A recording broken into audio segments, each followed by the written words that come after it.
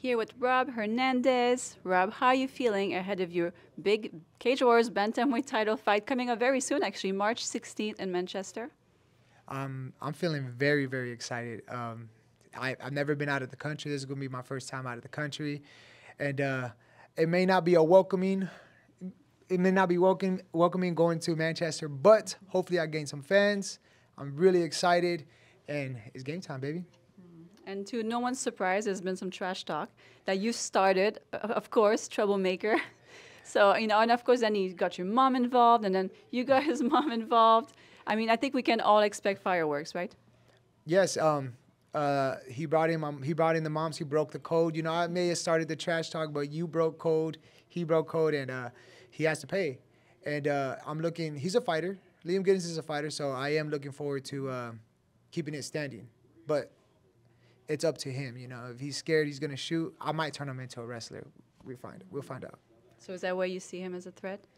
Um, yes, I see. Uh, he's scrappy. You know, Liam Gittins is scrappy. He won the title out, out of being very scrappy. Um, but I'm scrappy too. You just got to pull it out. John De Jesus pulled it out, and I don't know if he has the skills to pull it out. I might just cruise into a finish, maybe third, fourth round. Mm-hmm. I was going to say, do you think you're going to experience the championship rounds or? Um, I might, I just might. My coach wants me to go all the way to the fourth and fifth round, but I might finish him on accident. Who knows? I might finish him on the, one of the first three rounds. So. And I think this is your. I mean, since you've signed with Cage Warriors, you've pretty much been on every single San Diego cards, right? Yes, yes. I've been on since I signed every single San Diego card. I made sure not to miss. You know, I prayed for these opportunities, and God said, "Here you go," and it's, it's, it's been like seven fights within two years. So it, it, I asked for it, and I'm living up to you know the work that He gave me. So. So what is it like to be here as a guest tonight?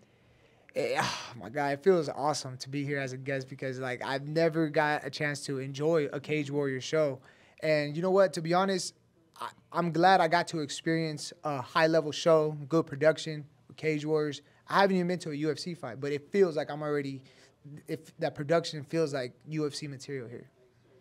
Well, I'm going to let you go enjoy the show, and I will be seeing you in Manchester. Yeah, I'll be. Oh, okay. All right. Well, thank you. And uh, game time. Liam Gittins, just know, I got something waiting for you, bro. I got something waiting for you.